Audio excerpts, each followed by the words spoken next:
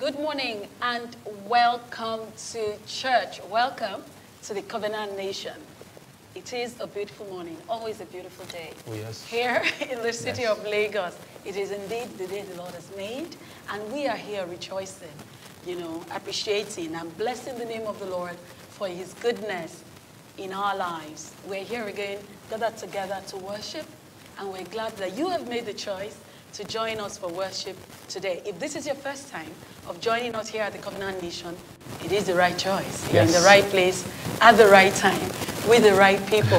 and we want to get to know you better. So if you would kindly go to our website at www.insightforliving.org forward slash new to church. There's a form there that you can fill, share your comments, share your experience, and somebody will get in touch with you. Yes, definitely. But more than that, if you are anywhere near a Covenant Nation campus, please come in and feel the warmth of the Covenant Nation.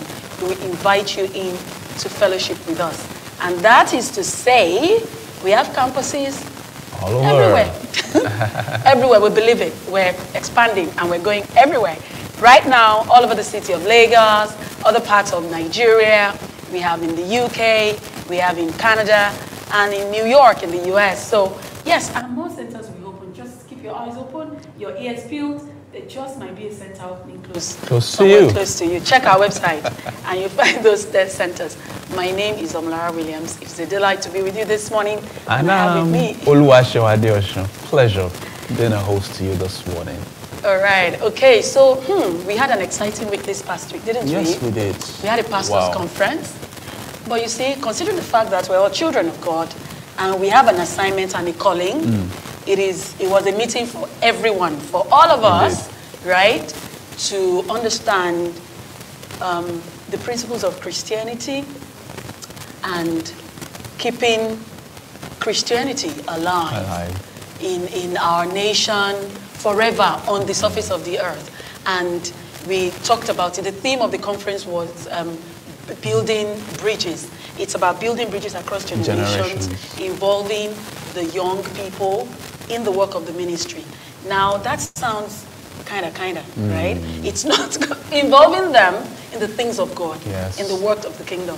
And for me, it speaks to the family before even the church, right? Yes, because it, the family is that unit that God has created originally for, you know, that fel- initial set of Yeah. fellowship to happen. And so as you build, and you know, in families, you have what you call culture that, that Yeah. transcends generation. If something is broken, if a generation does not understand the culture, then it is lost. And it's the same thing when we come, when we talk about, you know, this, our Christian believing uh, our kingdom where, where we are you know there must be that continuity there must be that when you pass that knowledge from one generation to, To a- another. to another just Yeah. get them involved the same way you get you know individuals in a family involved in what's going on in that family so it's it's, it's quite important So we had Pastor How and Pastor Lia Yes. from the Heart of God Church in Singapore. If you've been part of our previous pastors' conferences, you'd have probably heard about them, but they were here live and they are they, they talk about generations. They are really deep into involving young people in the things of God, showing young people how to be involved in the things of God and serving God even from a young age. Jesus did that, so every child should be able to do that. All right, we're just following the example of our Lord. So, um, and then we also had um, Pastor Godman Akinlabi from the Elevation Church um, all over the city of Lagos and beyond. And um, all the messages are up on our YouTube channel. Please go find them. You will find them very instructive, very enlightening, very impactful, transformational, and a life-changing experience you would have when you listen to these messages. It's important, particularly if you work with young people, if you have a church, if you have a passion for Christianity to remain on the surface of this earth, that more souls should be won into the kingdom of God. And for if you, wherever you are in the world, look at the percentage of your youth. In Nigeria, more than half our population is youth, and that is very important. And it's also a way, Pastor um, How talk about something. If you want to change our society, you change the young people. Yeah. And the, the one way is to put the laws of God in their heart. The Bible says that when the law, God says He writes His law in our heart, and we do not need another person to teach us what to do. And you need you need that. So we need to expose everyone to God to have that done. And then the Bible instructs us that we should teach our children. It talks to the Israelites, you teach them on the wayside, everywhere. Write it on, the, on your doorpost, everything.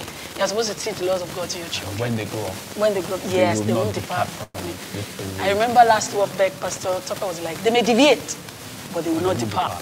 If anything happens, they will come back. They'll always come back. They So go, go find those messages. Now, to our Bible study this morning. We have a little time, but we're going to be discussing something interesting.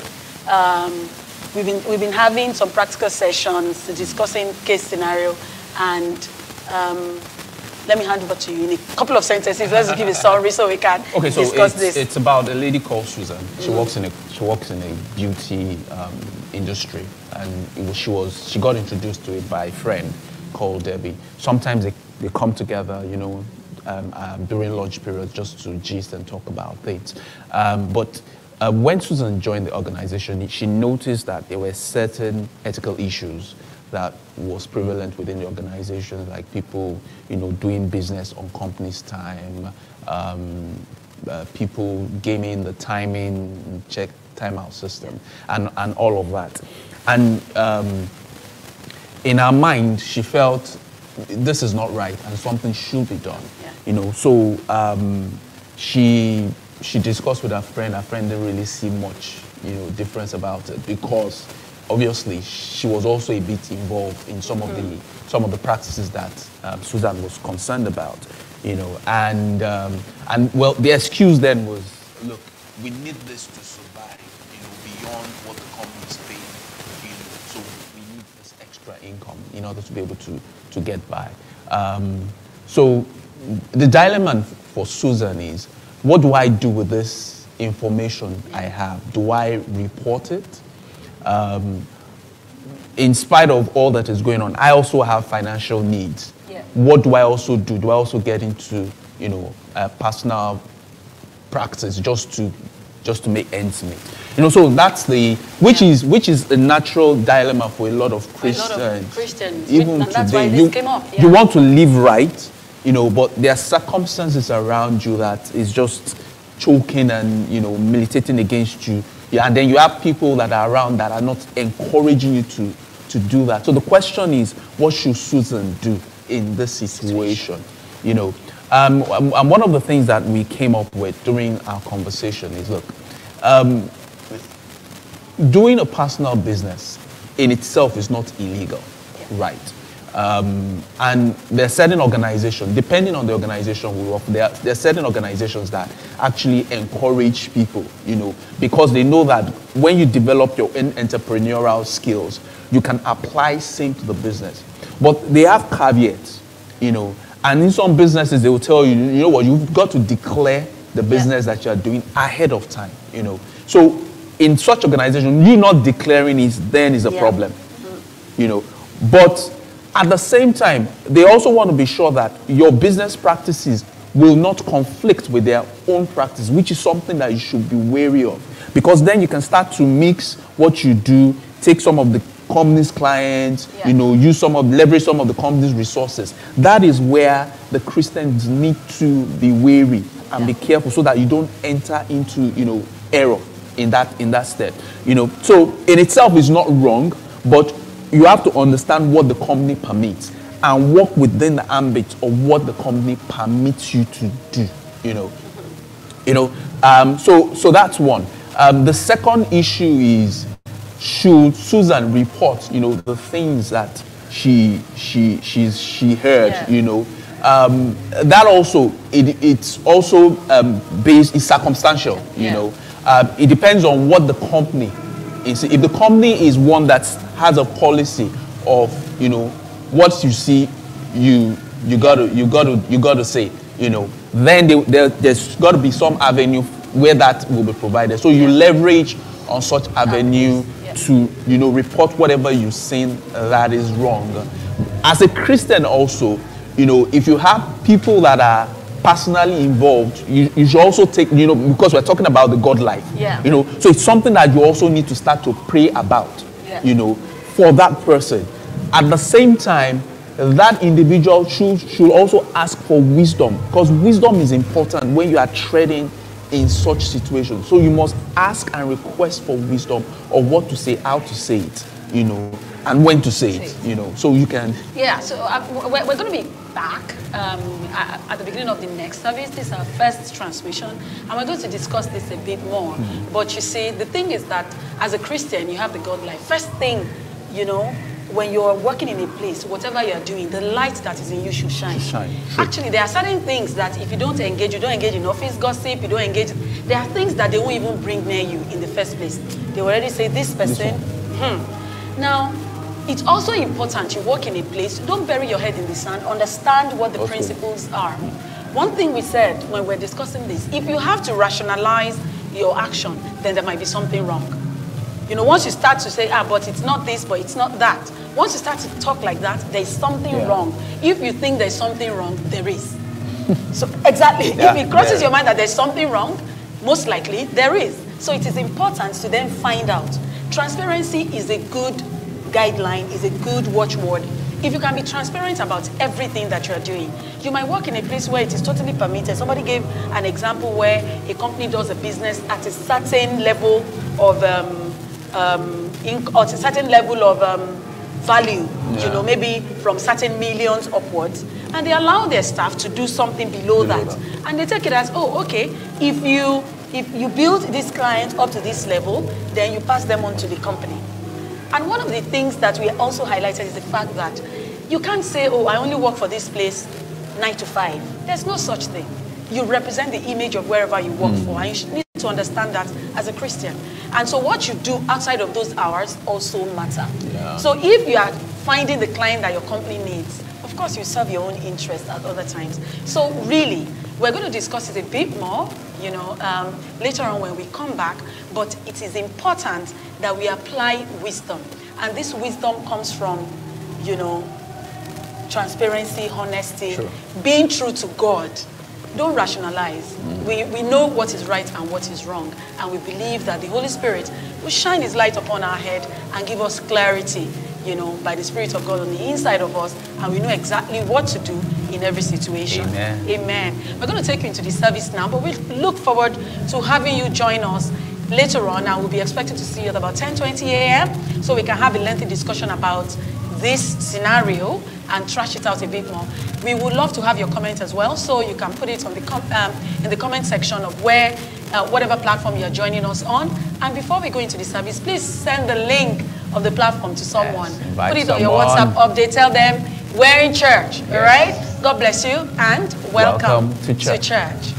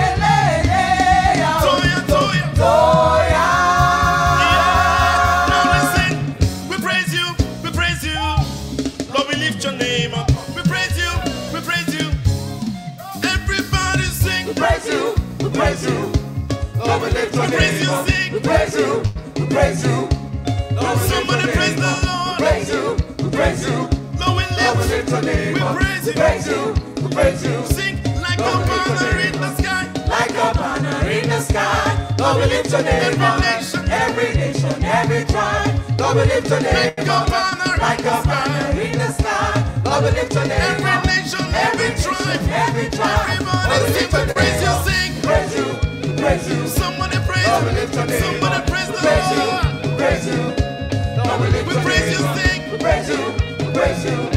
Lord, we lift your name. Praise you. Lord, let me see you. Give the Lord a dance of praise.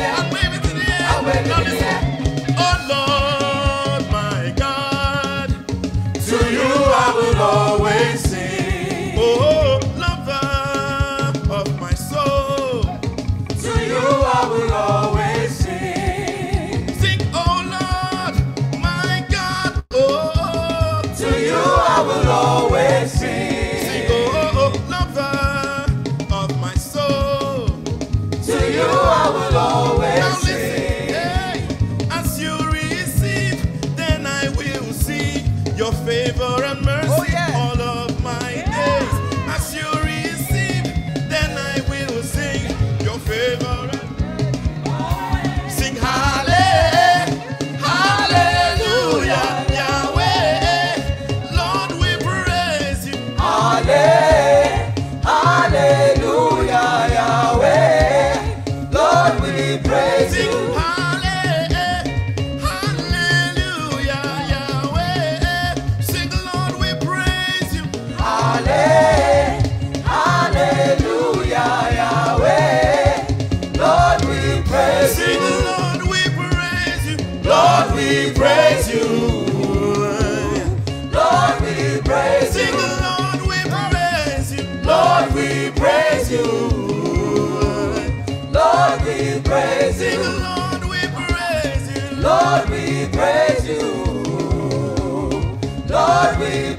you.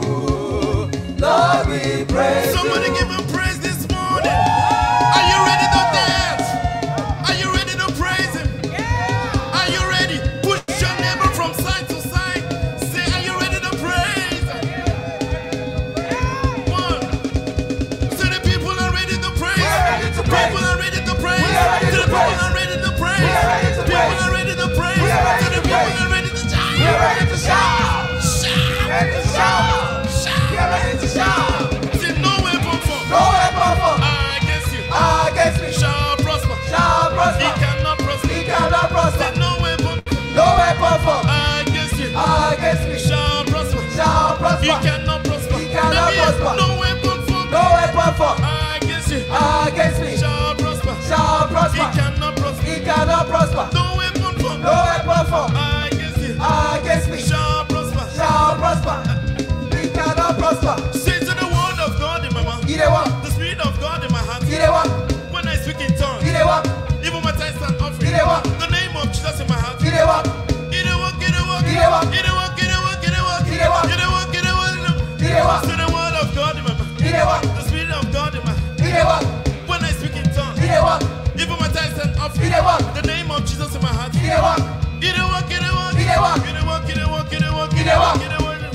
Sing no weapon, no weapon against against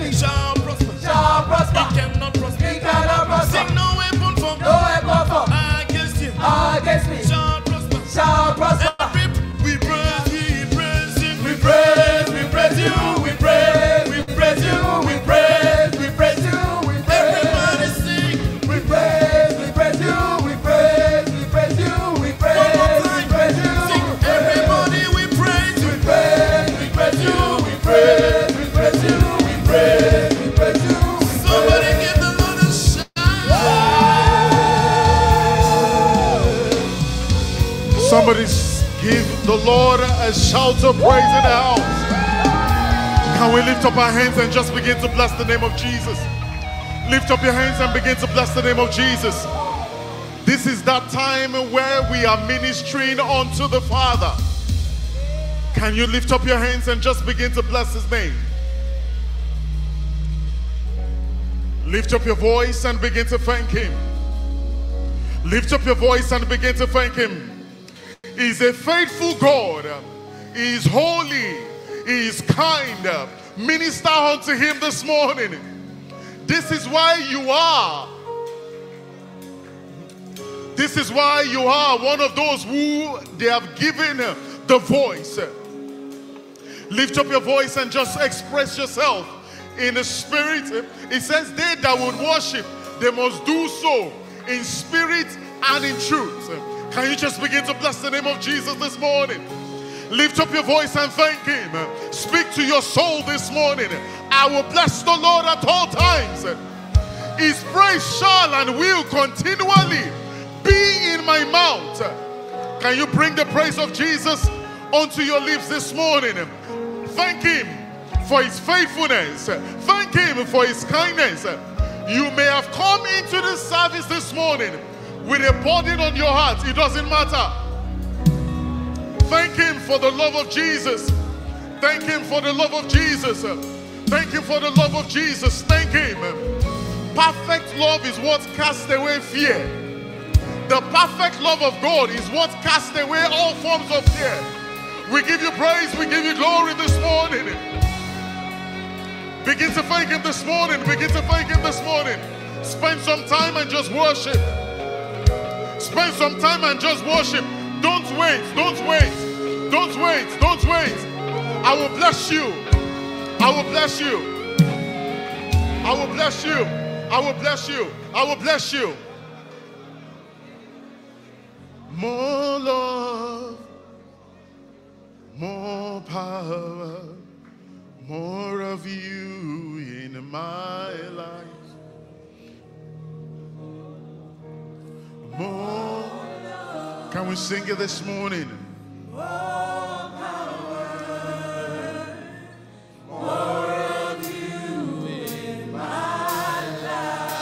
We can use that this morning. More of the love of Jesus. While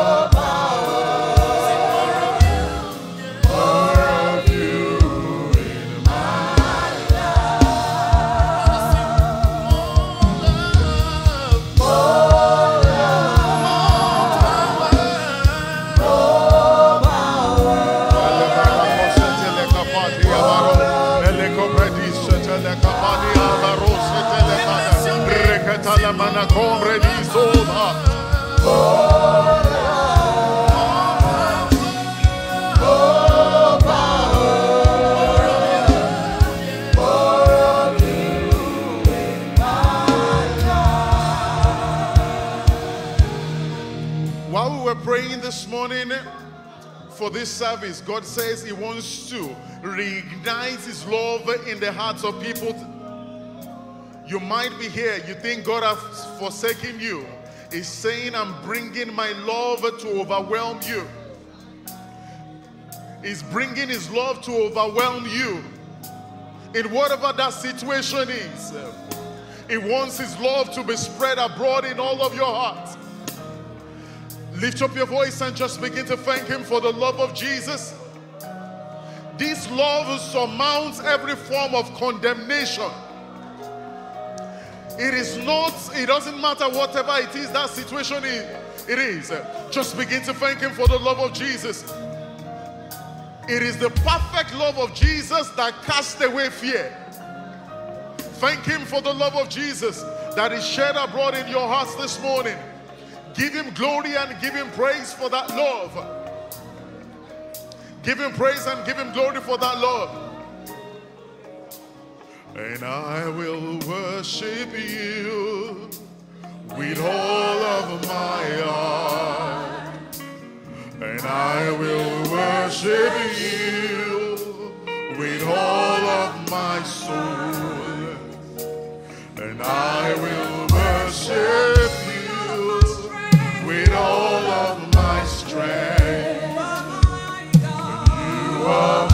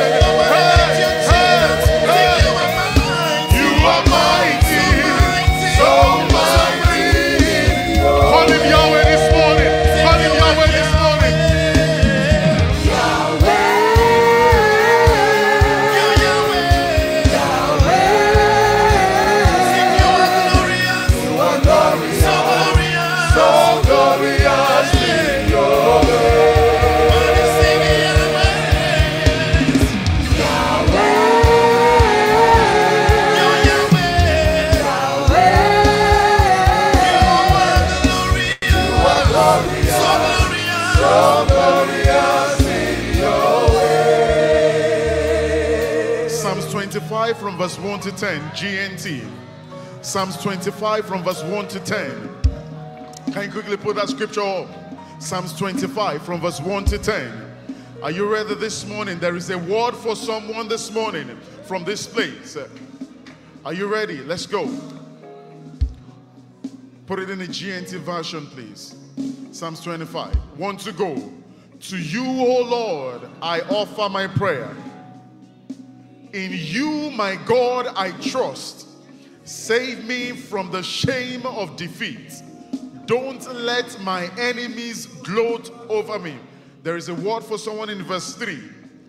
Defeat does not come to those who trust in you, but to those who are quick to rebel. If your trust is in the Lord, I decree over you that defeat is not coming to you in the name of Jesus Christ. No matter what that situation is, I declare, for your trust is in the Lord, defeat does not come near you in the name of Jesus Christ. Verse 4, let's go. Teach me your ways, O Lord. Make them known to me. Verse 5. Teach me to live according to your truth. For you are my God who saves me. I always trust in you. Verse 6. Remember, O Lord, your kindness and constant love, which you have shown from long ago. Verse 7. Forgive the sins and errors of my youth. In your constant love and goodness, remember me, Lord. Verse 8. Because the Lord is righteous and good, he teaches sinners the path they should follow. Verse 9. He leads the humble in the right way and teaches them his will. Last verse, verse 10. With faithfulness and love, he leads all who keep his covenant and obey his. Can we rejoice over his word this morning? Can you rejoice over his word this morning? Father, we thank you. All praise and glory unto you. In Jesus' mighty name. Amen. Put your hands together for the senior pastor of the Covenant Nation Global, Pastor Poju Oyemade.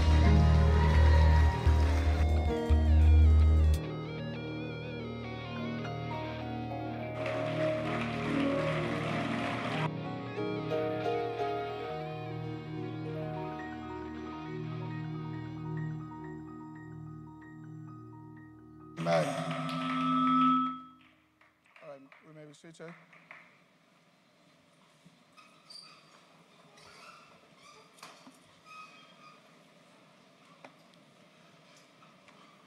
All right, let's take our confession this morning.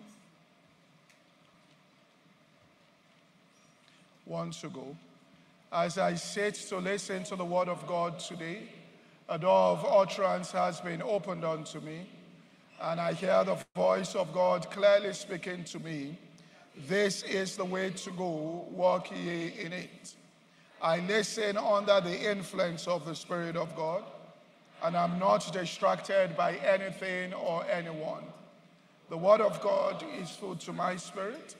I am strengthened by it this morning. It is wine to my heart, creating joy within me.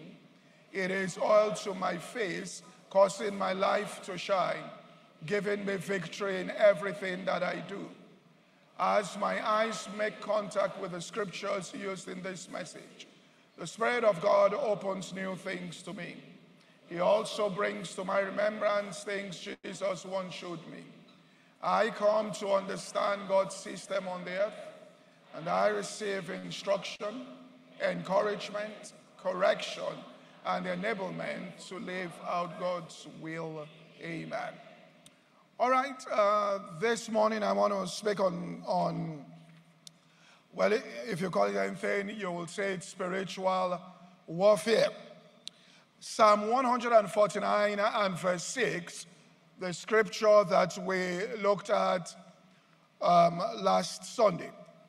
It says, Let the high praises of God be in uh, their mouth and uh, a two edged sword in their hand. For what purpose?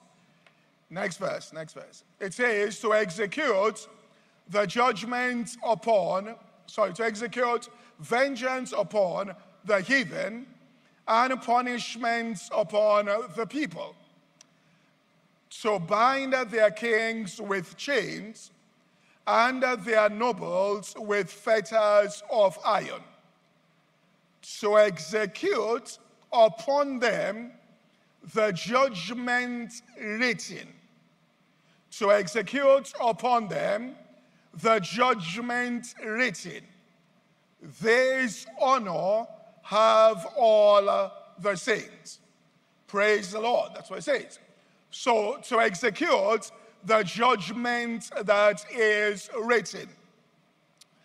And what does it mean to execute the judgment that is written? First thing we have to understand is there is therefore the judgment of God that is written concerning any situation you are confronting, or you find yourself in any situation, there is a judgment that is written. And that's what David spoke about. He said, It's written of me in the volume of thy book, I come to do thy will, O God. If we look at the book of Daniel, I'm not going into that, it tells us about the fact that the horn made war with the saints and prevailed against them until worship came up to the Ancient of Days and the books were open and judgment was now given to the saints, and by that, the kingdom was now established. In other words, let's give an example here in judgment written.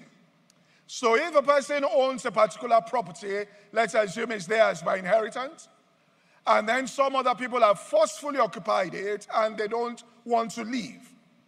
Then they go to the courts there to pray the court, and the judge, therefore, all right, gives his judgment, and the judgment is written out. Now, are law enforcement agents that what they do is to go and execute the judgment that is written. They don't determine the judgment, they are executors of the judgment that is written.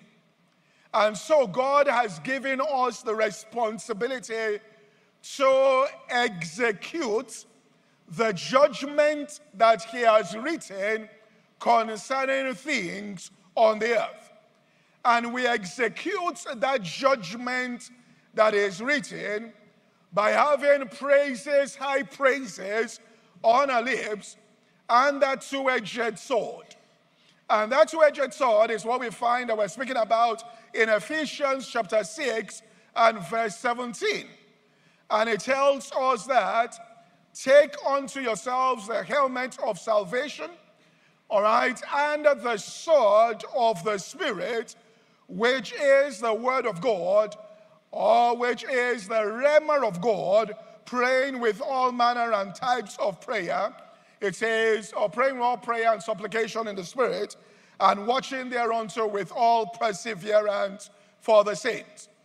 So the two weapons that we have here is praise that we offer up unto God and the sword of the Spirit, which is the word of God on our lips, or what we'll say a word for that proper occasion, or the word, all right, the scriptures there that the Holy Spirit has shown us that is appropriate for that situation, which is the judgment that is written concerning it in an atmosphere of praise. We are executing that judgment that is written. These are the perfect weapons for complete and absolute victory.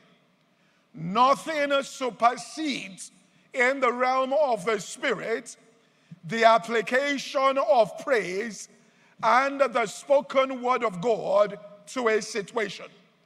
Let me repeat that nothing supersedes in the realm of the Spirit.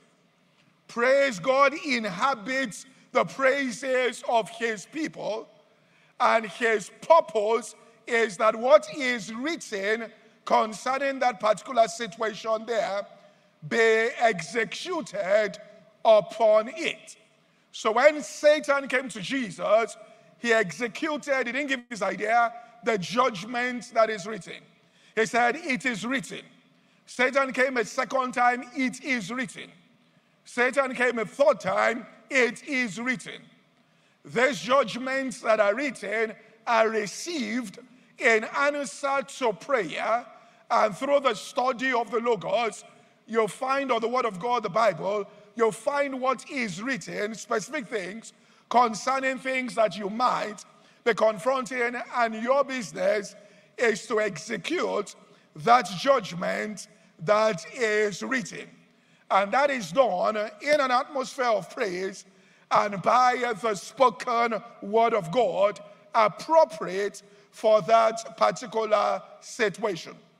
Now, this morning I want to look at something in the scriptures, the first battle that the nation of Israel as a nation faced. And that this is what was deployed in that particular battle, this principle. And there's something in scripture that is called the law of first mention, and it's a law. In other words, anytime anything happens or is mentioned for the first time in the Bible, it, it sets a pattern, or from it, we get a pattern of how God will fulfill that particular thing on the earth. The blueprint is given unto us. So, the first miracle that Jesus did, that's the law first mentioned, tells you how miracles occur and how God works miracles in the lives of people. And listen to this, yeah. Because, you know, I even had to jot it down when I was preaching for service because some things came by inspiration. So I stopped the service to write down my own notes too. So that it's not only you writing me to, I must write my notes here. Because the Archbishop in the said, if you are counseling somebody and you are not being canceled by the counsel that you are giving, you are counseling the person. Which means if you are teaching people and it's the Holy Ghost who is inspiring utterance, you yourself will be getting taught. So I stopped the service so it's not only you that have the note, I also have the note. Are you following what I'm saying? Yeah. So the law of first mention here when it comes to miracles, Mary gave us the key. And listen, she said, when you are in any situation, whatsoever he tells you, do it. Now, what happens is when we're in situations, we are telling God what to do. What Mary said is, whatsoever he tells you. In other words, if you are faced with any situation, go to God and ask him, What should I do? Don't go and pray as to what he should do. Whatever he tells you to do, in response to that situation, do it, and it is going to lead to a flood tide of miracles. In other words, you toil all night and catch nothing. You go to him and say, What should I do, O Lord? Not that God, you know, this next time I'm going, I must catch fish. What should I do, O Lord? And one thing happens is God inspires you, lend your boats there to Jesus that he might preach, all right, upon it. So you lend your boat to Jesus, simply following what you should do there. And then the results of that is that you get to a point where you now get an abundance of fish. In other words, your prayer should always be, Lord. Not that, Lord, you know, do this. Lord, what will you have me do in response to this? And if God tells you, shut up, and you shut up, it will lead to miracles. If God tells you, sing praises, and you sing praises, it will lead to miracles. Hear from heaven, get his direction. The heavens rule over the earth, the earth doesn't rule over heaven. Thy will be done on the earth as it is exactly in heaven. So if you do what he tells you to do in that situation, it will lead to this. So let's see this battle here in Exodus chapter 17 and verse 8. This was the first battle. And God deliberately told Moses that write down what happened here and rehearse it in the ears of Joshua, and it must be preserved for generations to come. Because there is a massive lesson in what happened that his descendants must know.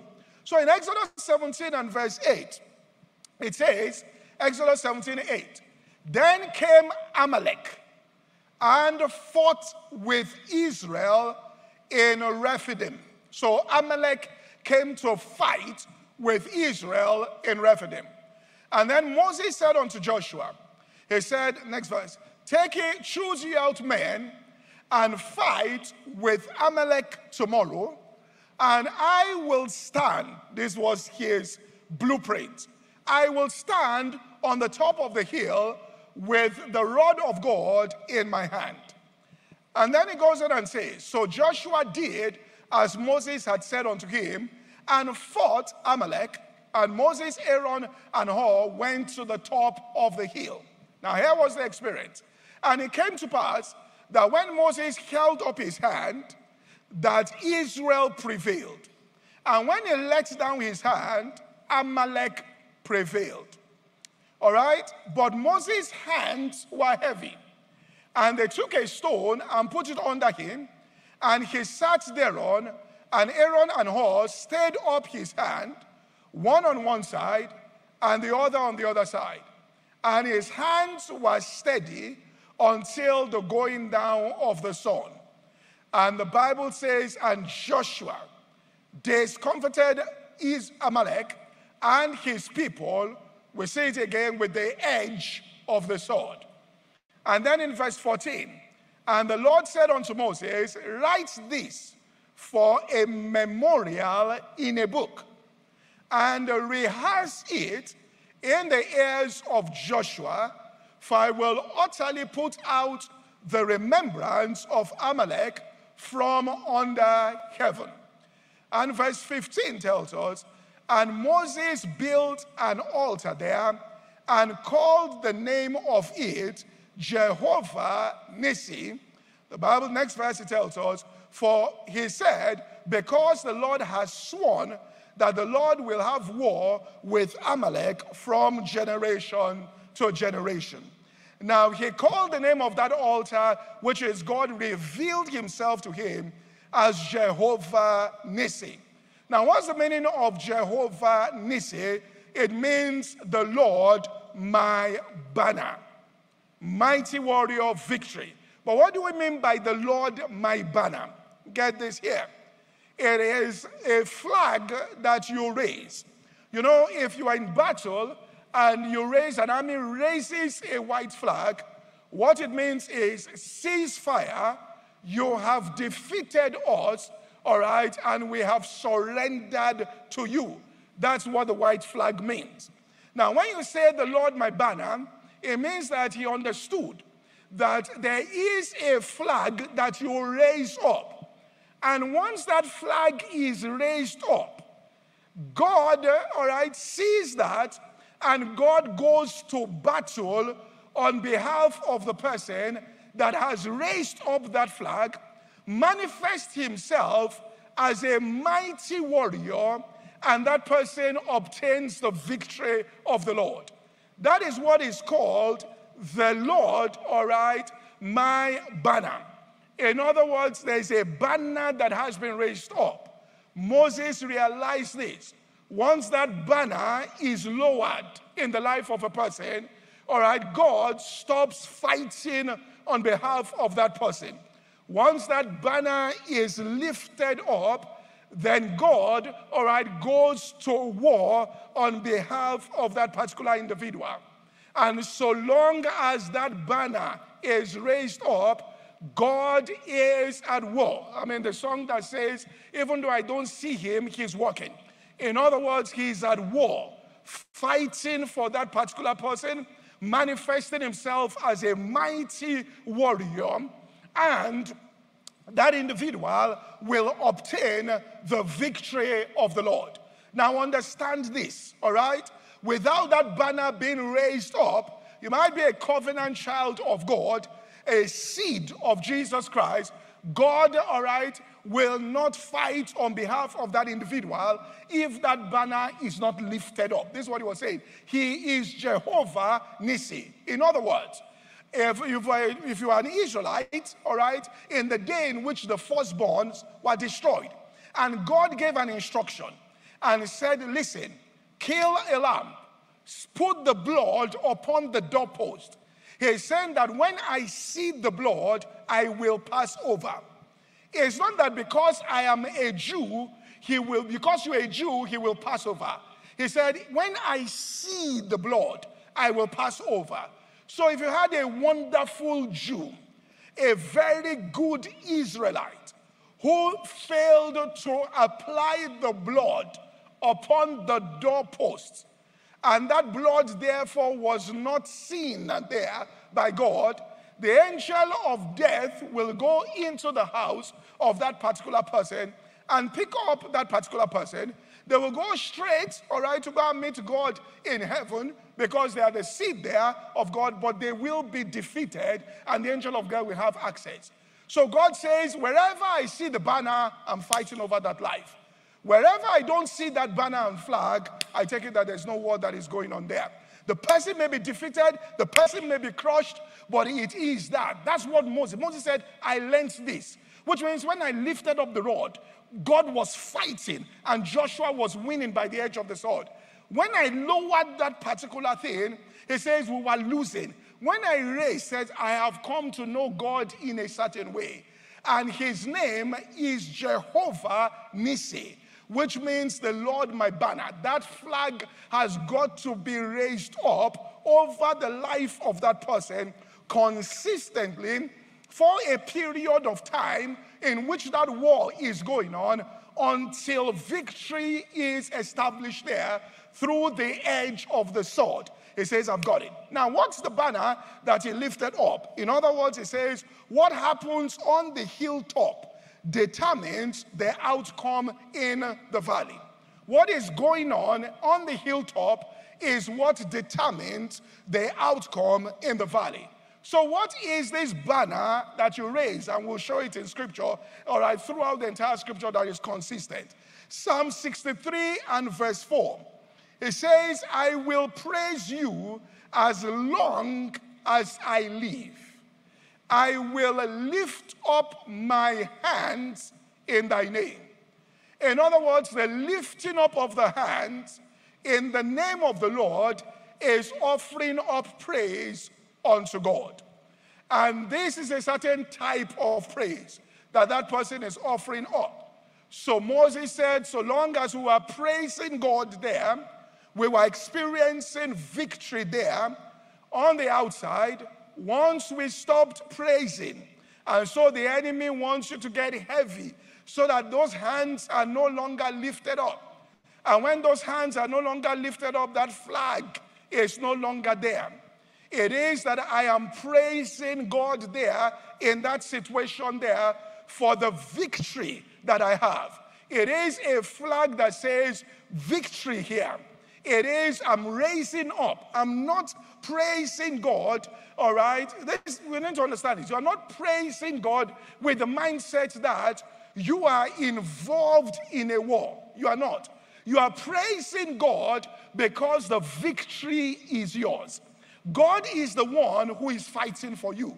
You are not fighting. God is the one who is doing what? Fighting. You are just raising up that flag, which means so long as you're waving that flag, God is fighting. When you put down that flag, then you can start fighting. Do you get what I'm saying here? So you put up that flag there, all right, and God is the one that is fighting for you. You know, it says this. This is what God told Jesus. He said, Sit at my right hand until, not you, Jesus, I make your enemies your footstool. Are you following what I'm saying here? Jesus is the head, we are the body. Sit, which means be in a position of rest until I make thine enemies thy footstool. And when you are studying the scriptures, ways in which you can understand deeper meanings to the scriptures is that you can look at what was said. In other words, the, the, the Bible says they fought at Rephidim. Rephidim there, what's the meaning of Rephidim? When the scripture put it up in verse 8, Exodus 17, verse 8, it says, Amalek came to fight and fought with Israel, keep the scriptures there, in Rephidim. The meaning of Rephidim there, so you can look at things if you really want to unlock scriptures. Sometimes you can look at it and they use, if anything that is used in scripture is deliberate, if a number is used, it's intentional. That's why the Bible says, being seventh from Adam, he prophesied. All right, which means that number seven in scripture represents something.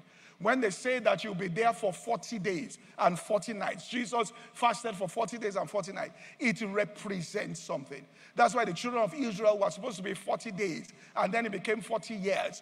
The number 40 represents something. The number 10, those numbers mean something there. Rephidim, the meaning of it is a place of rest. In other words, you are in a position of rest when, when the Amalekites come to fight. And so, what you are doing is you are resting there in the victory that Jesus Christ has for you as a person. And what you are doing is you are raising up that banner, and it is, all right, first, first John chapter 5 and verse 4, it tells us that whosoever is born of God overcometh the world. And this is the victory that overcometh. This is not the contest that overcomes. It's a victory that does what? Overcomes the world, even our faith. So faith is the believer's voice of victory. In other words, it's a victory that overcomes the world, an acknowledgement of a victory in Christ. It says God causes us to triumph in Christ Jesus and by us in every place. He makes manifest the savor of the knowledge of Him. The word triumph is not a contest. The word triumph is a celebration, all right, of the outcome of a contest. In other words, as you start celebrating that Jesus Christ won on the cross and at resurrection morning, that he has delivered you from the power of darkness, that he has, all right, met the foe and defeated him. And you start celebrating, and God hears the voice of victory in praise. He goes to war to make sure what you are celebrating is made manifest in your life. Do you get what I'm saying here? So it's a believer's voice of victory. It's not a believer's voice there of struggle. It's not a believer's voice of difficulty. It's a believer's voice there of victory. And so long as my hands don't get weary and my praise, all right, is weakened, and I stop praising God. And we'll see why people stop praising God, all right, because of things on the outside. And you stop praising God, He says, victory is certain. For he will go as a mighty man of war to fight on your behalf. Whoever is waving that flag and celebrating the victory that we have in Christ Jesus. So his banner is right over. In fact, verse 15 to verse 16, if you read it literally, this is what it needs. Indeed, my hand is lifted towards the Lord's throne. And as long as my hand is lifted up, That's what Jehovah Nissi means. I will have victory, for the Lord will be at war on my behalf from generation to generation.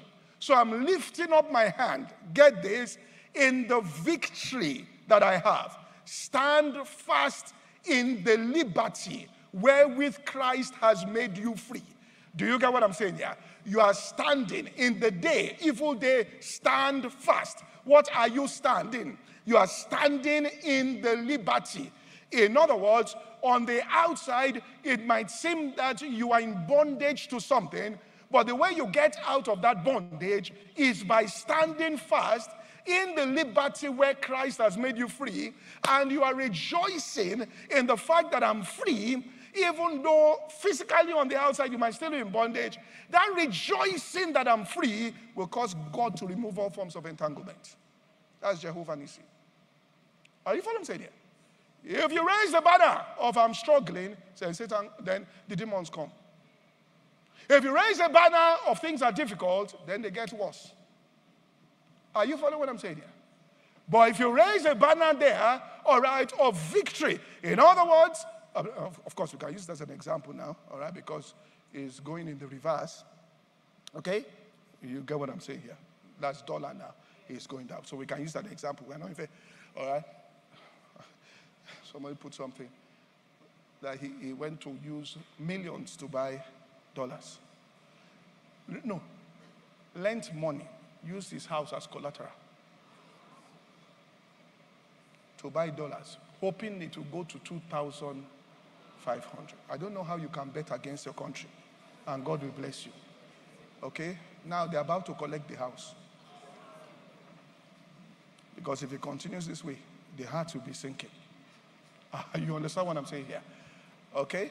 So, uh, so we can use that. Now, let's assume a person decides, I'm going to, let's just say that, I'm going to um, do something, and it costs, let's assume, it's in dollars. So if you say, let's say $1 million, yeah, and he looks at it and says, ah, this thing is going to cost a, a, a billion. Just, just say, calls it, and, and the dollar began to go up. You know, after some time, the hand can be heavy. All right? Billion, okay. Father, we thank you. 1.5 billion. Jesus, we thank you. 2 billion.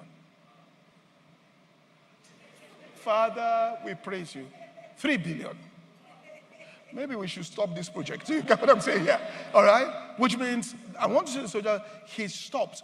But so long as that person is saying, I have victory, 1 billion, we have victory. 2 billion, victory is complete. 3.5, God has done it. 5, God says, I will continue to provide.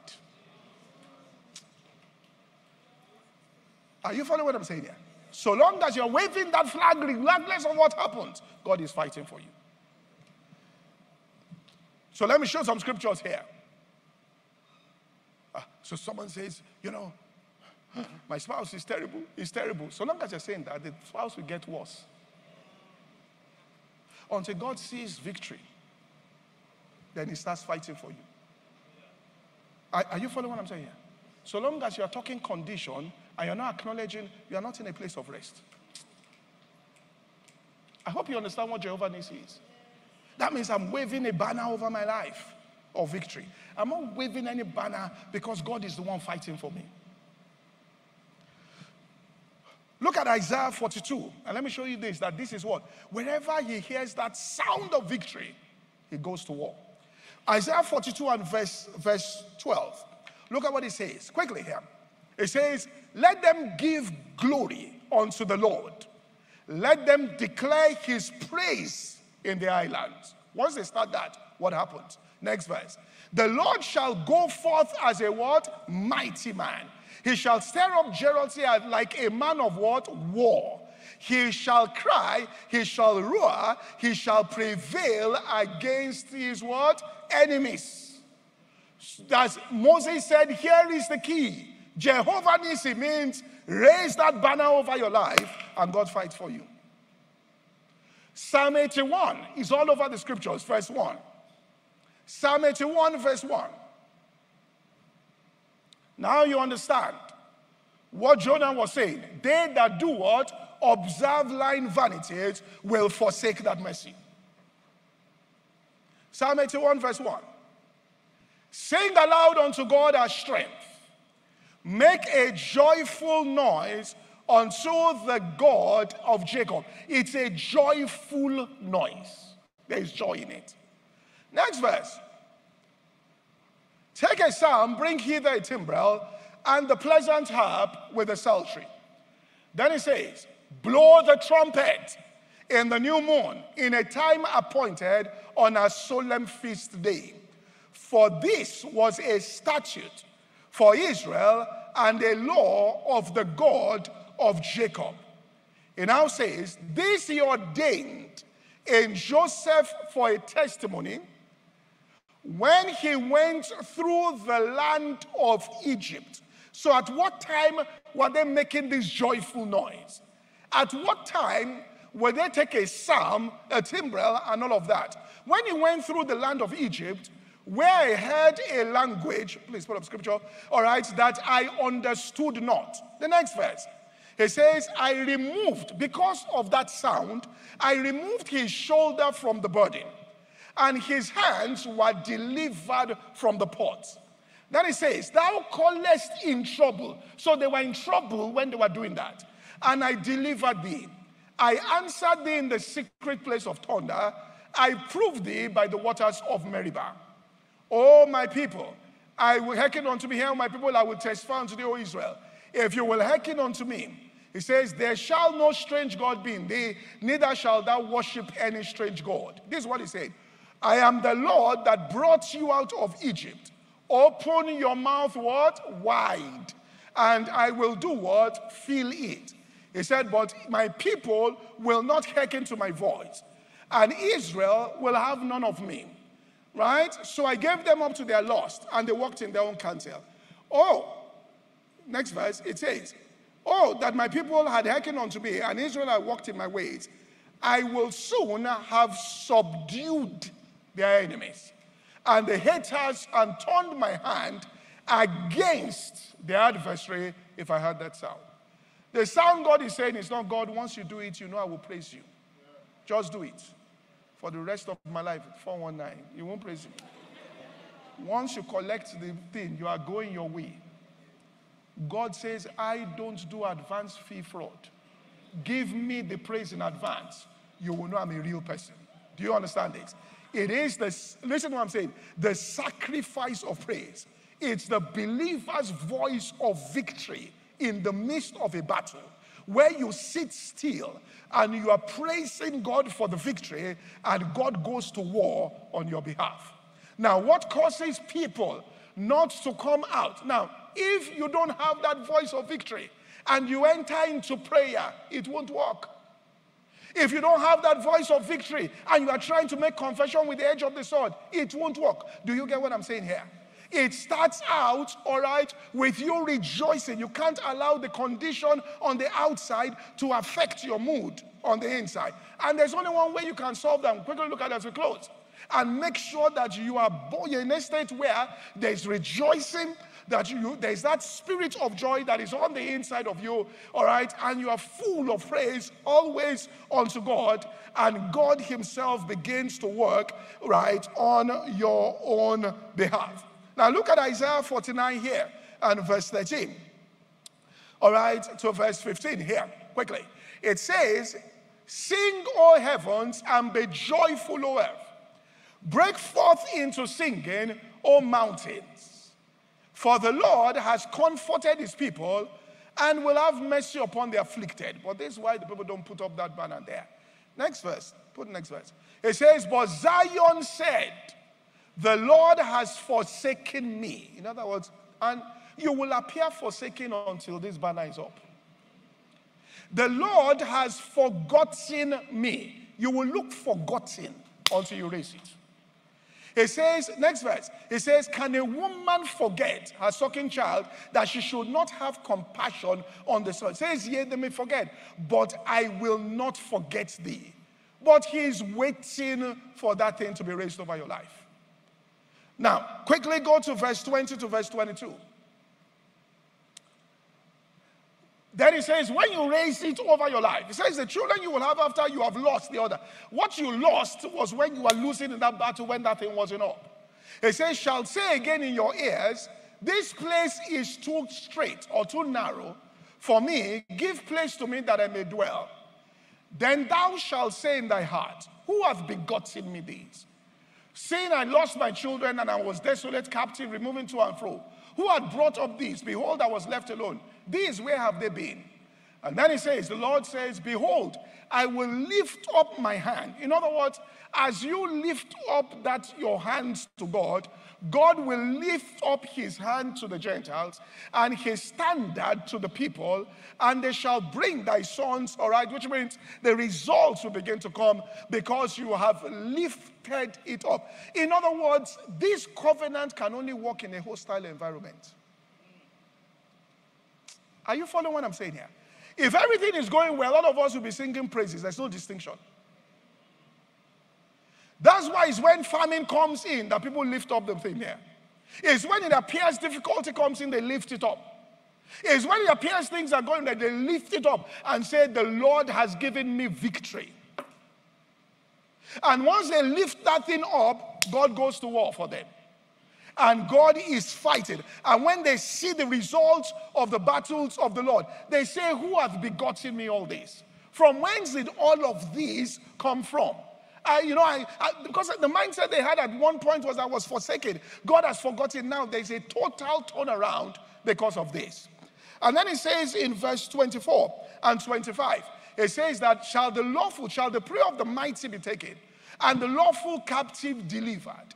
It says, But thus saith the Lord, even the captives of the mighty shall be taken away, and the prey of the terrible shall be delivered if I hear this praise. He says, For I will do what? Contend with them that do what? Contend with thee. Which means you don't have to do the contend. I will do what? Contend with them that contend with thee, and I will save their children. So, what he saved, that the person said, Who has begotten me all of this? It was God's, the, the, the spoils of war, the victory that was gotten. That's the same thing that happened to Jehoshaphat during his time. When Jehoshaphat began to sing, the Bible says, And when they began to sing, God set an ambushment when put up that scripture when they began at what time he says this is what moses discovered he said listen if your hands come down you are going to lose.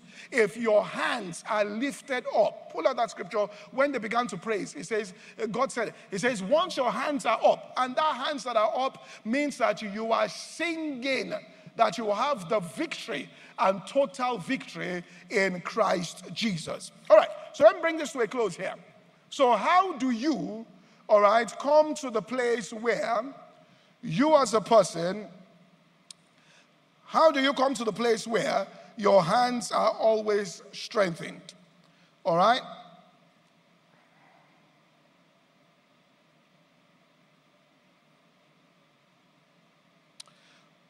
All right, put up Second Chronicles 20, 20. Uh, you folks. Uh-huh. So they says, and when they began to do what? To sing and to do what? To praise the Lord. This is what Moses, this is what Moses discovered when he said Jehovah Nissi, which means wherever that banner is not raised, you don't see God as a man of war. And wherever it's not raised, you will not have victory. If they call a fast and they are not joyful, they will lose. If they are preaching the word and they don't raise the banner, they will lose. Are you following saying? You have to raise that banner there, which is a believer's voice. That's the starting point of victory. That's what brings about the advancement.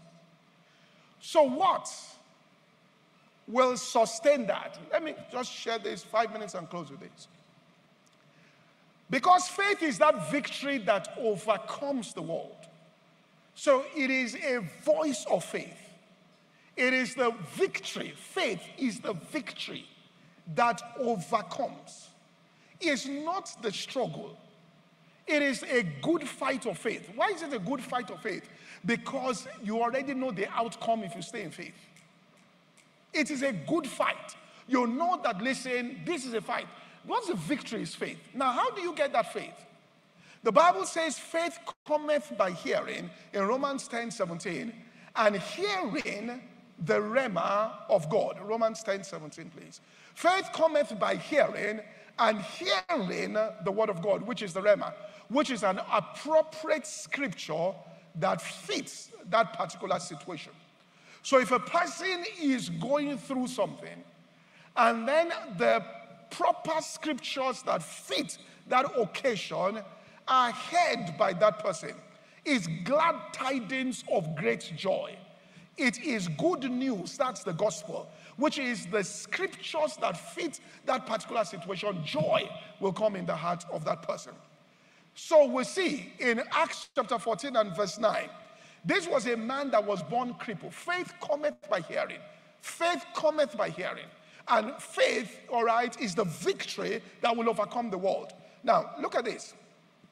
The same heard Paul speak. So, how did he get faith? He heard Paul speak. Now, there are two ways in which faith can come. It comes through the Rhema, but somebody can say something to you, which is a, a scripture that is fitting for that situation. You can hear it from the lips of somebody and faith will come, or you can hear it from your own lips yourself. Now, the issue with you, particularly as you are maturing, when he says you ought to be teachers now, in other words, you should be generating your Rhemas now. You can't sit by the well and say, I have no man to push me in. Uh, you can't wait if you're in the midst of a battle somewhere, in an airport, somewhere. You can't be waiting for somebody. You have to hear the words of faith yourself. So you can't be dependent there and say, well, when I get to church on Sunday, maybe they will say something. All right. When you get to a certain point that you must, in fact, you, you will see this, you should be distributing mass to others. But the point is, it comes by hearing. So this man who was born crippled, the same head Paul preach. Now, in that teaching, Paul must have said certain things. Paul, who steadfast, that's Paul, beholding him and perceiving that he had faith to be made whole. That means where did the faith come from? From hearing. It says, Paul said, Stand on your feet. And the man leaped. All right? Now, second example is the woman with the issue of blood in Mark 5 and verse 25.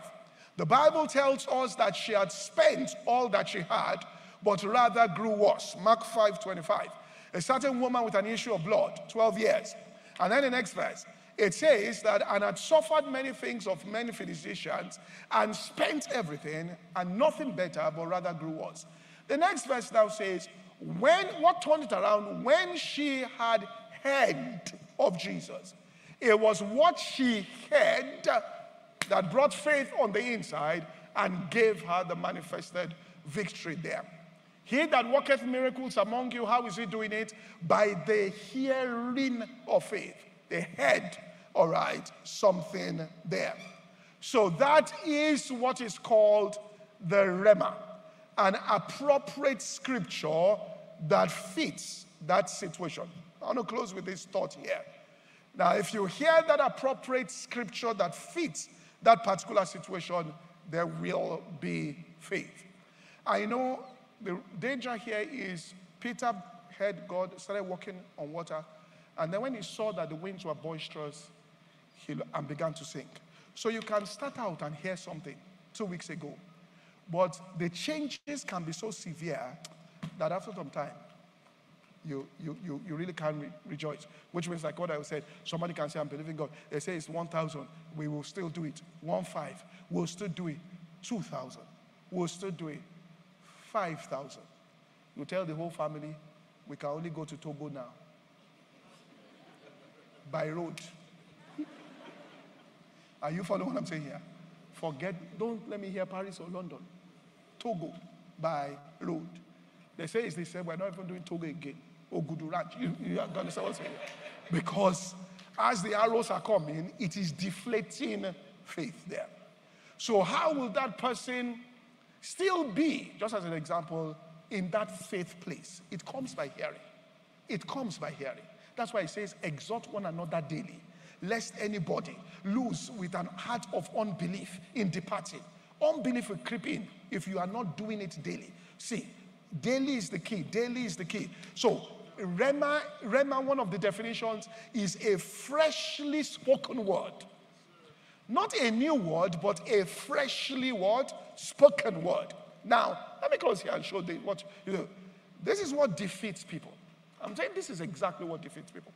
So, when Jesus talked about the Rhema, he said, Man shall not, he quoted that scripture, man shall not live by bread alone, but by every Rhema that proceeds out of the mouth of God. You know, if we give you bread, bread is bread, but there's still bread and there's freshly baked bread. The same are what? Bread. But if we give you stale bread for two months, you can't eat it. When they give you freshly baked bread, what happens is you love that bread. But it is the same bread. See what I'm saying here? So man shall not, but by every. Now, listen, because, let, let me just say this here. When Mary came to me, when the angel came, and Mary said, How shall these things be? God said in Luke 1 37, He says, With God, nothing shall be impossible. The word nothing are two words. No thing shall be impossible. Go and check if you're a Greek person. Go home so you know what I'm saying is true. The word thing there is rhema, which means what he's saying is that with God, no rhema shall be void of what? Power.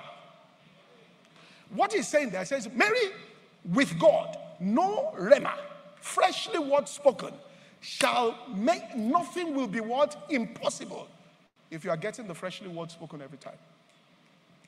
Now, let me just close by saying this here. So, how do we get this fresh word?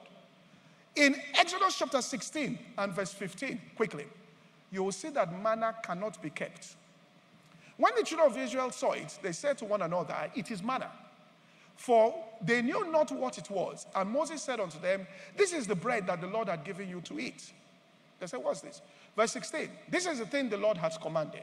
Now, quickly go to verse 20. Verse 20, it says, or verse 19. Now, Moses told them, he said, verse 19, Moses said, Moses said, let no man leave it till morning. Next verse, it says, notwithstanding they hearkened not unto Moses, but some of them left it until morning, and it bred worms and stank. And Moses was wroth with them. Verse 21, it says, And they gathered every morning, every man according to his eating, uh, which means is every morning you gathered the word manna. Why do you think Jesus prayed, Give us this day our daily bread? That bread must be daily, or else it starts stinking. The word you heard last year can't sustain you for the battles today.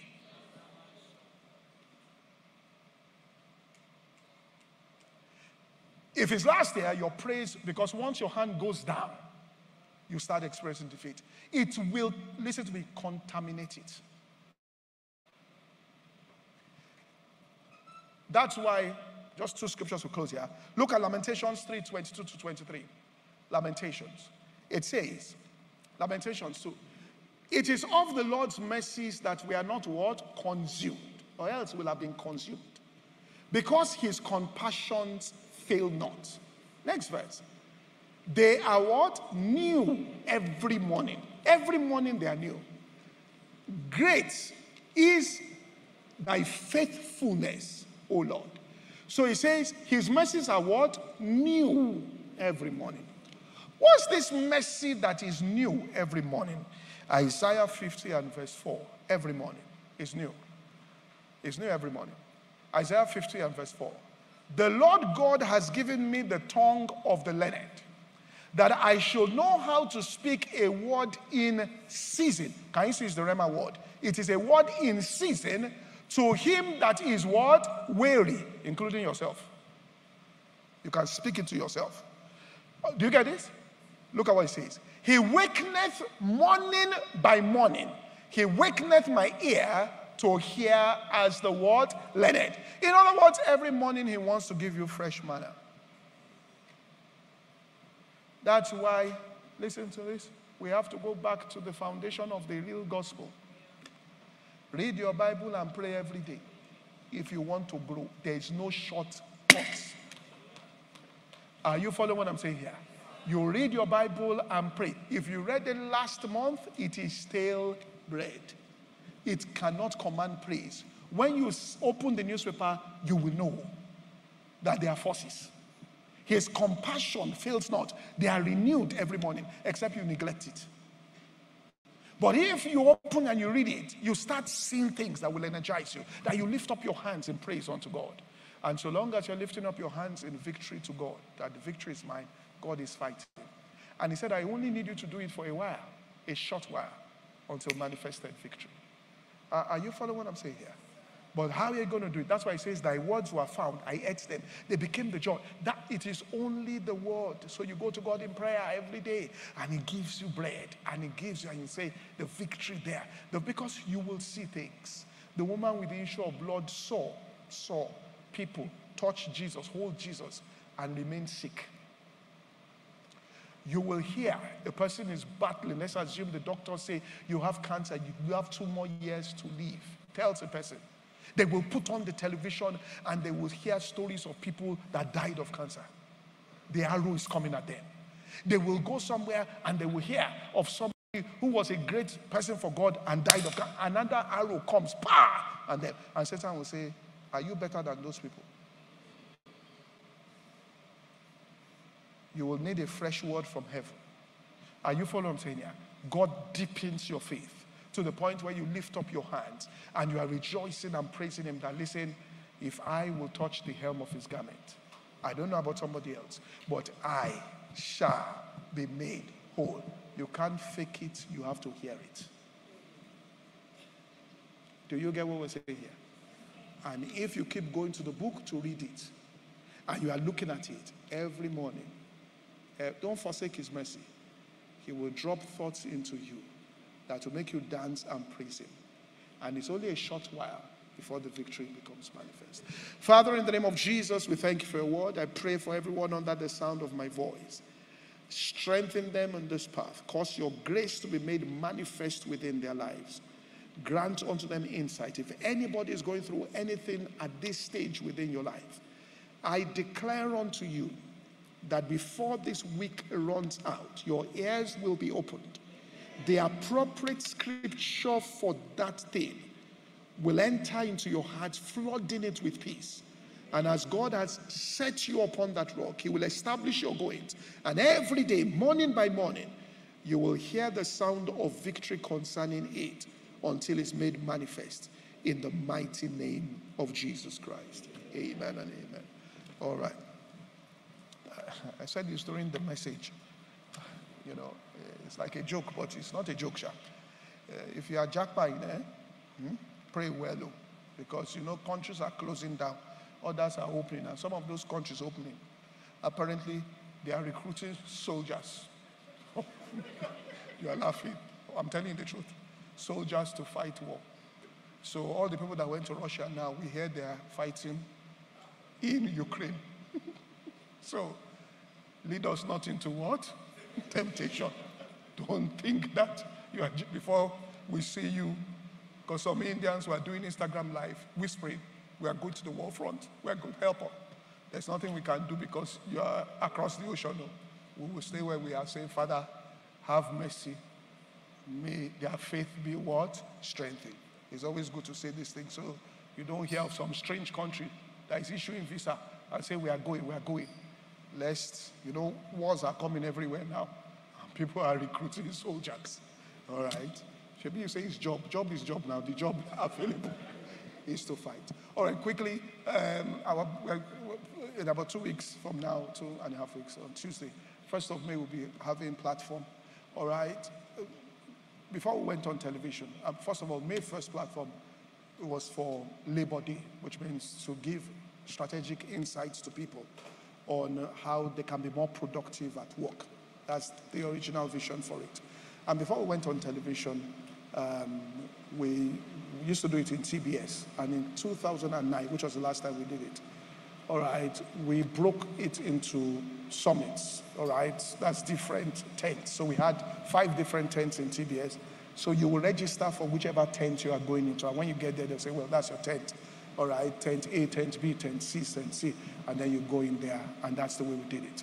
Now, we stopped doing it that way because they, that, that year they said we can't come to TBS because it was Jubilee, Golden Jubilee, and they wanted to use it. And so we went on television. And in going on television, you know, I thought deeply about it. Probably we lost something about that particular way in which, in fact, let me tell you what happened. I was on Virgin Atlantic one day. A young man came to meet me, was a business guy. He said, Pastor, he said, what? He said, You invite people to teach. He said, They never talk about the things you tell them to talk about. I said, It's the pressure of television. When people are on television, they are thinking about their brand, they are thinking about their business. Sometimes they change what they are supposed to say to their brand and their business. He said, Cut the television off. He said, Let them go back to teaching business. He said, Cut it off. Stop doing on television. All right. So I thought about what he said. And um, so we are going back to the original vision here. So we're going to have, we'll televise it, but we're going to have three summits. Uh, and we're going to homogeneous groups. So we're targeting it at homogeneous groups. The first one will be here. When I say first one, they just three, I'm just saying first. We'll be here to be on entrepreneurship. And so it will be five people that will speak on entrepreneurship, how to build a business from scratch. And these are people who built their businesses from scratch and built it up. All right, so that's what they'll be teaching the different progressions on that. So if you're an entrepreneur, that's it. Then we have entrepreneurship, which are people that are working inside corporations, and this for middle and senior managers, all right, who are creating wealth within an organization by products and services and innovation. And that will hold in Ikeja at, at the Marriott Hotel. And the third, all right, is for women, all right, women in business and women in tech. And we have two of the most solid business women in this country women in business and three younger people who are into tech. So, women in business and tech. And that's for people who were born by God as women. You get what I'm saying? What I'm saying? When you came into this earth, you came, God brought you forth as a woman. All right? Not that you changed halfway.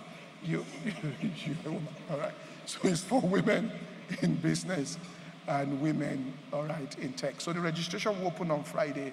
So you decide whichever one you want to go. I showed somebody the images of the three. The person said, I'm struggling, I'm struggling. I said, that's good. So it's power of choice. Okay? Because some people, if they don't give you the choose, you just go anywhere you want to go to. Now, choose. On television, they are playing five matches at the same time. Choose. You can't say stop. The news is going on. They don't wait for you. They are saying the news uh, the film is going on. They are not waiting because you are watching a football match. Choose. So we're in a life of choices here. So you make your choice there. God bless you all. Shall we stand up to our feet as we begin to give praise to God? We've got an opportunity to begin to thank Him this morning lift up your voice and just thank Him. Praise is the believer's voice of victory. Lift up your voice and begin to thank Him. Begin to thank Him for the entrance of the Word of God is what brings light, understanding to our hearts. Can you just spend some time this morning and just begin to thank Him? Begin to thank Him for the seed of His Word, and there is impartation upon your soul. Now you have clarity on that which God is doing. The word of God has come fresh unto you this morning. You have got to return all the glory back to Him. Thanking Him for that situation that you are in. Begin to thank Him this morning and lift up your voice. Don't hold back. Don't hold back. Just begin to thank Him there is a particular situation that is reoccurring in your mind right now. Don't be generic about your praise. Do not be generic about your praise. There is that specific thing that God wants you to thank Him for. So lift up your voice and begin to thank Him. Reach within your soul and begin to thank Him. Begin to thank Him. Begin to thank Him. Thank Him for His faithfulness over that situation. Thank Him eh, for His mercy. Thank Him eh, because His mercies are new every morning. Eh, and the mercy of God has come unto you this morning, fresher unto you. Thank Him this morning. Lift up your voice and thank Him. Give Him all the praise and give Him all the glory. For the Lord is good. For the Lord is good. His mercies endures forever. Father, we thank you. We give you praise this morning in Jesus' mighty name. Deuteronomy chapter 20, from verse 1 to 4. I bring you good news. Amen. Can you rejoice uh, when I say I bring you good news? I bring you good news. Deuteronomy chapter 20, and from verse 1 to 4. And this is a word for someone this morning. It says, When you go out to fight against your enemies, and you see chariots and horses, and an army that outnumber yours, this is a word for someone. You're bidding, you're in competition, you're in whatever it is. In the course of this week, it says, Do not be afraid of them. The Lord your God who rescued you from certain situations in the past is with you right now in the name of Jesus. Uh, can you lift up your voice and begin to thank Him for this word? Begin to thank Him for this word. That when I go out this week, this is my experience. I will not be afraid, for the Lord has bought me this victory in the name of Jesus. Begin to thank Him this morning. Verse 2, let's go. Verse 2. It says, Before you start fighting, a priest is to come forward and say to the army, What is he saying? Verse 3 Men of TCN Iganmu, listen. Today you are going into battle. Do not be afraid of your enemies or lose courage or do what? Or panic. Verse 4. It says, The Lord your God is going with you and he has given you victory. Can we begin to rejoice this morning? Can you rejoice this morning? Can you rejoice this morning? Can you rejoice this morning? If you're here, you know you have the victory. Begin to rejoice this morning. Begin to rejoice this morning and begin to thank Him. Lift up your voice and begin to thank Him. Over your children, begin to rejoice. Over your jobs and your careers, begin to rejoice. Over your marriage, begin to rejoice. Over that health situation, lift up your hands this morning and rejoice. Begin to rejoice, begin to rejoice. Begin to rejoice. Enjoy the victory that God has granted you over that situation. Can you rejoice this morning? Can you rejoice this morning? Lord God, we thank you. Oh God, we thank you. I speak life into you right now. We thank you. We thank you. We thank you for your victory. This is the victory that we have. This is the victory that we have. That you have now made us that fragrance. Can you rejoice this morning? Thank Him. Thank Him this morning. Can you thank Him this morning? We thank you. We give you praise. We give you glory. We give you praise. We give you glory. We give you praise. We give you glory. We give you praise. We give you glory. In Jesus' mighty name, lift up your hands this morning. And so, Father, we decree over every single person who is watching online or you are present here that this is your victory this week. That as you go out, you are led forth with joy. In the name of Jesus Christ, you go out with peace. In the mighty name of Jesus Christ, that the mountains and the hills are broken forth into singing. That the trees of the field they are clapping their hands on your behalf. In the mighty name of Jesus Christ. 10,000 will fall to your right hand. Multiple will fall on your left. It will not come near you in the name of Jesus Christ. I decree and I declare anyone carrying any form of ailment, I decree that you have received your victory right now in the mighty name of Jesus Christ nothing valuable ever dies in your hands. Those things that God has placed in your hands, they thrive and they flourish in the mighty name of Jesus Christ. Relationships that God has planted in your life, they will not die in your hands in the name of Jesus Christ. I decree and I declare that your love for Jesus is reignited in the mighty name of Jesus Christ. You go out this week and you come back rejoicing with multiple testimonies in the name of Jesus. Can you give God a big hand this morning? Give him a shout of praise. Give him a shout of praise. Give him a shout of praise. Hallelujah. Amen. Thank you, Jesus. In Jesus' name. Amen. You may be seated. Very quickly, a couple of announcements. In well, it's not in order. The first one is this, and I'm going to quickly share something very briefly with you. And I shared with um, uh, with some of the leaders uh, while we were praying at 7 a.m. yesterday. It's important that we keep this entire thing going, and it's a long story, but so I'm going to make it short. Um, so we're, only prayed one prayer yesterday at, at the leaders' meeting, and one of the, that prayer was from Acts chapter 11, verse 17. I want to I want to quickly share something, and it's important. I'm make, I want to make this announcement for the video that we're going to have on the 26th. So Peter had had a conversation with um, the angel that God sent to him. Cornelius was in his place, but that's a, it's plenty, plenty conversations. But let me just um, pace myself and then explain properly. So Peter said this in Acts chapter 11, verse 17.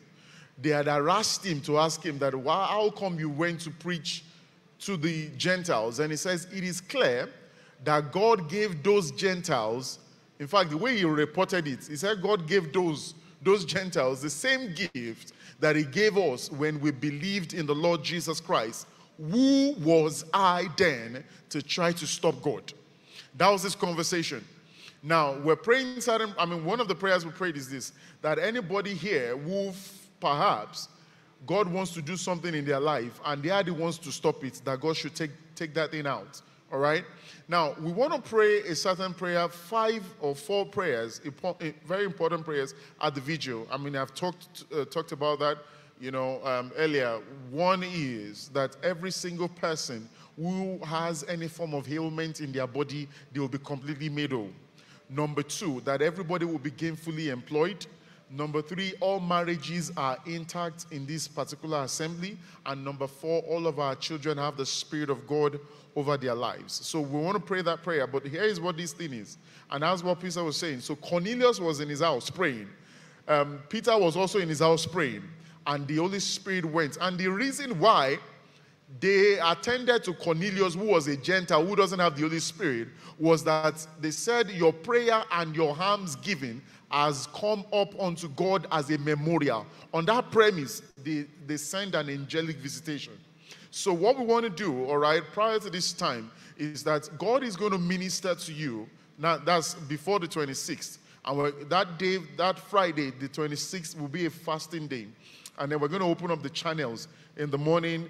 Uh, in the after, like we're going to observe all the watches for about 10 minutes leading to the vigil. All right. So please join us. If you're not on Mixlr on um, TCN Gomo, please um, try and um, what's it called subscribe so that when the channel comes up, you're able to be a part of it. So one of one of, so we're going to do six. Sorry, we're not we're, we're going to do we're not going to do six. We do nine, 12, 3, 6. All right.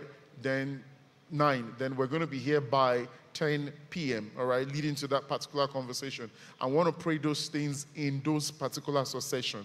So please join us. Of course, you know, our vigil, aside from the fact that there will be tea and coffee, all right, we, we want to spend, want to do what they call meditative prayers and meditative praise. All right, the, the Tribex guys are going to start out the entire conversation. There was something they did at Tribex that I want us to also do. All right, well, I didn't tell them to, they, they did that. I think it's a really powerful um, time of worship that you want to be, you want to really truly an ex, uh, experience. Also, at the midweek service, we're going to be teaching on in the final analysis. That's midweek service. Now, there are certain things that are, you know, in the in the end, you know, when you're in a business conversation, for instance, they said to you, they will say to you, what's what's the final outcome of this particular thing? So people cut their losses at some point. People are getting married to people after checking the entire thing. In the final analysis, this is why I'm getting married to you. In the final analysis, this is why I'm coming to Covenant Nation Uh, some people have gone to different places and stuff. In the final analysis, I know that, I mean, it might, it might not make sense to you, but there is always a final analysis as far as human beings are concerned. So join us on that particular one as we have that conversation in the final analysis, and then your focus will be fixed on specific things as far as your life is concerned. Amen? And finally, all right, today is United Tribe. How many of you are excited about that? But let me be very clear about what we want to do today. Last month or last quarter, we had a we had a goal, so to speak. But this quarter, if some of you are carrying your goals to the next quarter, that's fine. All right. All right. But what we want to do is to ensure that within your United Tribe group, you are praying for each other so that those goals are being achieved. All right? That's what we want to do today. All right? I think that should be about it. God bless you and I have a wonderful Sunday.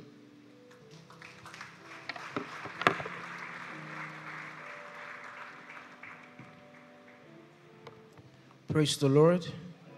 All right, can we take a confession after the message? One, two, three, go. I declare this week the lines are falling onto me in pleasant places. My steps are ordered by the Lord. Every day I open my mouth declaring things I believe, calling into existence those things I see with my inner eyes as though they are.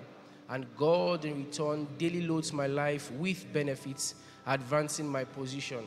Morning by morning, He opens my ear to hear His voice and has positioned me by His instructions such that others call me fortunate, lucky, and blessed by what has occurred every day. I declare wisdom is the principal thing. Therefore, I have gotten wisdom and with her understanding. I call wisdom my sister and understanding my closest friend. I've exalted wisdom and she has promoted me, making my life glorious. She has brought me to the place of honor because I have embraced her. I have listened to her and received her sayings. And so, by the decisions I make, years are added every day to my life. God has taught me in the way of wisdom. He has led me in the right path. When I go out this week, my steps do not end in dark, narrow passages, nor do I waste time making wrong turns. Amen. Very quickly, we have a very special group of people in our midst. If this is your very first time at the Covenant Nation Iganmu, we'd like you to rise to your feet. You're a first time guest, and we want to show you some love. If this is your first time at the Covenant Nation, please could you rise to your feet wherever you are in the auditorium. This is your first time at the Covenant Nation Iganmu. Please rise to your feet. Please rise to your feet. I see some people over there. Thank you so much for coming. Can we keep clapping? Can we keep clapping? Can we keep clapping? Let them know that we're excited to receive them. Thank you so much. I see some people on my right. God bless you. Thank you for coming. We prayed for you. You are here now, and we are grateful to God for bringing you. On behalf of our senior pastor, Pastor Poju Oyemade, and his lovely wife, Pastor Tope Oyemade, whom we just heard, we want to specially welcome you. This is the Covenant Nation Iganmu. And also on behalf of our resident pastor, Pastor Wale Ekundayo, we welcome you. We thank you for coming. So the members of the ushering team standing beside you, they would usher you to a place that we have specially prepared for you. So please your bag, your phones, your pads, and everything you came with, and just go to my right hand, which is your left. Church, are we happy? Are we grateful for our first time guest? Well, then you need to show it. If you are grateful to God, let's give God some praise. Can we keep clapping? Can we keep clapping for them? Thank you. Beautiful faces everywhere. We are grateful for the addition to our family. We are grateful for the gift of your presence. God bless you. God bless you. Thank you. Thank you. Thank you. They are almost seated. Just let's just keep that energy going. Thank you. Thank you. I don't know if you can see what I'm seeing, but they are beautiful. They are handsome. God bless you. We're almost there, church. We're almost there. They are almost seated. Amen. Amen. Thank you so much for coming. All right. You came the first time and you said, you know what? I'm going to have another dose of all right, we are enjoying at the Covenant Nation. To your second time. You're second time guest. Could you just rise to your feet? We'd like to acknowledge you quickly. This is your second time. You came the first time and you decided to show again the second time. Thank you so much for coming. God bless you. God bless you. Thank you. Thank you, sir. Thank you, ma. God bless you. Thank you. May please be seated. Thank you. Amen. We are grateful to God when He adds to our numbers. Amen. All right, it's time for us to take our tithes and our offerings. Um, where you are seated, you have an offering envelope. However, if you like to give a tithe, um, you could just wave your hand, and the members of the ushering team will bring a tithe envelope for you to give your tithe. The details of the tithe and the offering account are displayed on the screen for those who like to give electronically. Um, you could just look at the details on the screen and give. When we give our tithe, when we give an offering, we must do it with joy for it to be acceptable. It's not just about the money, it's the act, the act, the act and then the heart as well that we do it with. So give with joy, give with gladness. Can we say a prayer? Father, in the name of Jesus, we thank you for the privilege and the opportunity to give to you, to give to your kingdom, to give to your work. Lord, we ask that as we sow this seed, that you continue to sustain us with corn and wine, and that you cause your rain to fall in our lands in all seasons. For in Jesus' precious mighty name we've prayed. All right, so with gladness of your heart, can you give with joy? Put a smile to your giving. Amen. So let's give our tithes, let's give our offerings.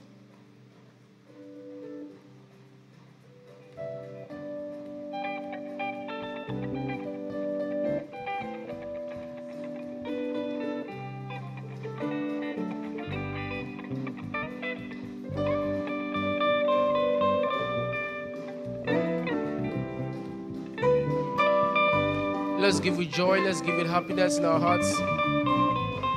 It's fine to move your body, that's okay.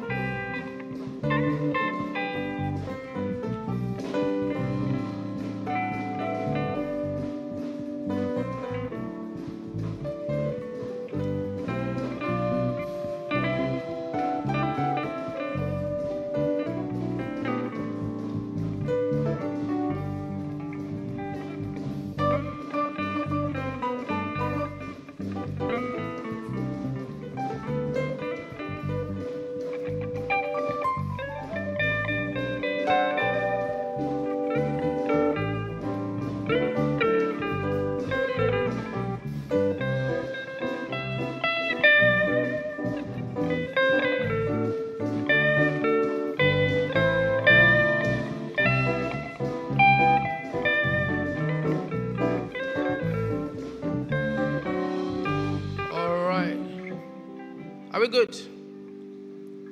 Okay. Thank you. All right. Thank you. Um, today is United Tribe. At the end of service, or please make sure that you, you know, meet your tribe members and have the discussion before we go. And also, if you didn't attend Sunday school earlier, please make sure that you stay behind. All right, um, for Sunday school, and you'll be blessed. It's time for us to take our chant. Um, can we rise to our feet to take our chant? However, today's chant is going to be different. I want you to do something. Remember that in the book of Acts, all right, when Peter and John were threatened, they went back to their company. So when you go this week and you have different things coming at you, all right, remember what Pastor said, the fresh word. But then we are going to take our phones and take a selfie with this chant. So the idea is that you can always go back to it and be in this same environment, right, in that video, and then you see everyone making the chant. And when you say nothing valuable dies in your hand, and so whatever you are faced with this week, you can go back to that video and relive that moment. Are we ready? Are you ready? Don't be scared, don't be shy. All right, can, you take out of your phone? We are going to shout. Right. and declarations. Join us online every morning at 5 a.m. West African time via www.mixlr.com forward slash covenant. Our online midweek services at the Covenant Nation are a refreshing time of fellowship with God in worship and an in depth study of His Word. Join us online every Wednesday as we recharge and receive all that heaven has prepared for us. Time is 6:45 p.m. West African time via www.mixlr.com forward slash covenant and 7 p.m. on Facebook and YouTube. The Covenant Nation. Awake, watchmen! We are set to stretch again in prayer to secure a tangible supply of the Spirit with which we can drown the world with the knowledge of the glory of God. Join us at this month's edition of Incubate, a six hour prayer vigil for the young kings and priests of the Covenant Nation. Date is Friday, 19th April 2024. Time 10 p.m. Venue The Covenant Nation Yaba, 400 Herbert Macaulay Way, Jibo. Please note that registration is required at bit.ly forward slash incubate hyphen vigil.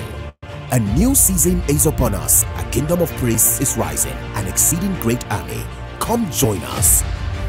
We are excited to announce that applications have opened for the 2024 cohort of the Platform Young Professionals Bootcamp. Are you between the ages of 20 and 25? Here is your chance to access mentorship and skills that will take your career and craft to the next level. Start your application today at www.youngprofessionalsng.com.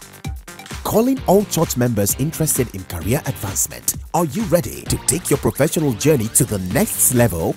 Join us for an empowering masterclass hosted by the Covenant Capital to prepare for the upcoming career fair on 25th May 2024 at the Covenant's Place, Iganmu. Mark your calendars for Saturdays, April 27th, May 4th, and 11th, 2024 as we delve into crucial topics to boost your career prospects. Learn how to optimize your LinkedIn profile, network effectively, upskill for success, ace interviews, and craft standout CVs. Don't miss this opportunity to gain invaluable insights and skills that will set you apart in today's competitive job market.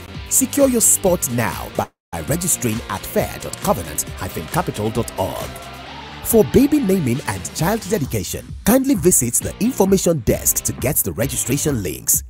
If you would like to get the audio CD of today's sermon or any of our programs at the Covenant Nation, kindly place an order by sending a WhatsApp message to the media office on 0814 000 0224. Audio CDs are produced on an order basis only. Download all messages for free at elibrary.insightsforliving.org. Also, stream via Spotify, Apple Podcast, and Google Podcast by simply searching for Insights by the Covenant Nation. Follow or subscribe and listen. Remember to send your feedback to respond at covenantchristiancenter.org because at the Covenant Nation, we love feedback. Connect with us on all our social media handles to stay updated at Covenant C Center at Pastor Poju on Instagram, Facebook, and X. God bless you and have a productive week ahead.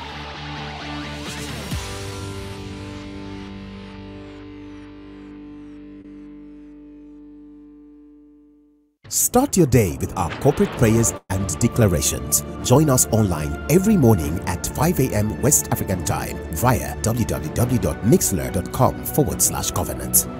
Our online midweek services at the Covenant Nation are a refreshing time of fellowship with God in worship and an in depth study of His Word. Join us online every Wednesday as we recharge and receive all that heaven has prepared for us. Time is 6:45 p.m. West African time via www.mixlr.com forward slash covenant and 7 p.m. on Facebook and YouTube. The Covenant Nation. Away